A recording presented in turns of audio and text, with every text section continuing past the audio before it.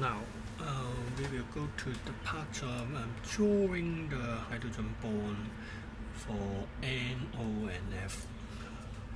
Mm, if the X highly electronegative atom is fluorine and it bond to the H, uh, HF molecule and the H um, carry partial plus and electronegative atom F carry partial negative another F has lone pair electron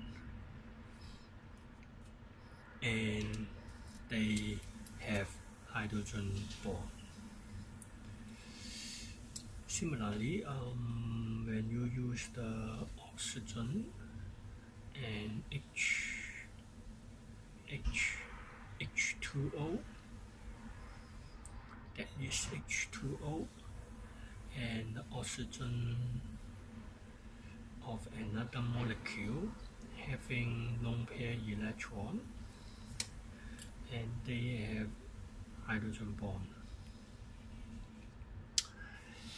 Lastly, um, N ammonia, um, it has three H and one lone pair electron.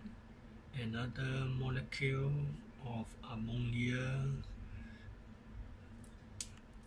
lone pair electron has attraction on the hydrogen atom. And if you use the book, it is on page 12. Um,